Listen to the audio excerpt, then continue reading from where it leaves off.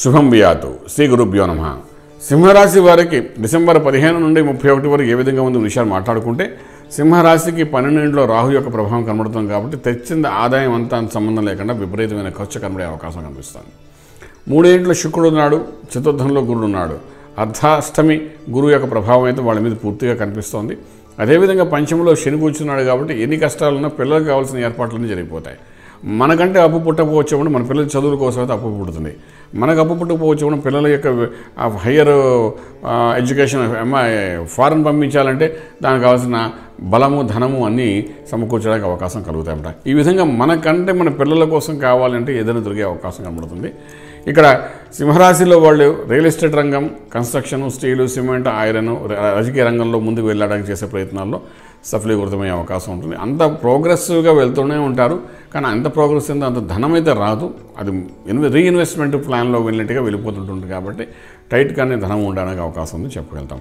అయితే ఇక్కడ సింహరాశి వారు చేసుకోవాల్సింటే power plant solar systems real estate construction food ఇండస్ట్రీకి వ్యాపారం చేసే వాళ్ళకి మాత్రము.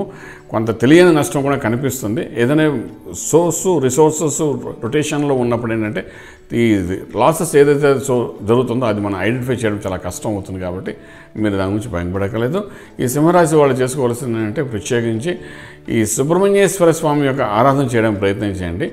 ఈ భూ సంబంధం వ్యాపార వ్యవహారాలు కానీ రాజకీయ రంగంలో చేసే వ్యాపార వ్యవహారాలు కానీ వీటన్నిటిలో కూడాను కొంత ఆటంకం నుండి బయటపడ్డాము. కోర్టు వ్యవహారాల నుండి బయటపడ్డాము. అవుట్ ఆఫ్ కోర్టు సెటిల్మెంట్ అవ్వడం ఇలాంటివన్నీ జరగడానికి సంపూర్ణ అవకాశం కలుగుతుంది కాబట్టి సుబ్రహ్మణ్యేశ్వర స్వామి వారికి ఆరాధన చేయండి.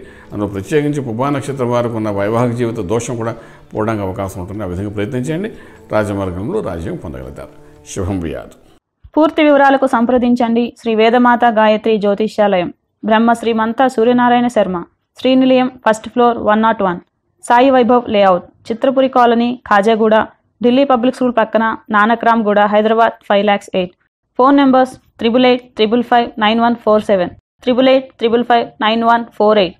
Nine seven zero triple four seven double zero one. Nine seven zero triple four seven double zero two.